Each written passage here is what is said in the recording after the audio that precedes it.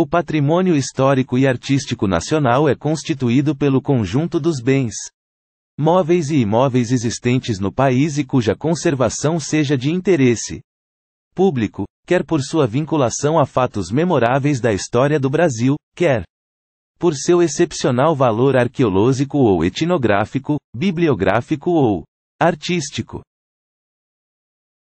Analisando a questão, você responde: verdadeiro ou falso?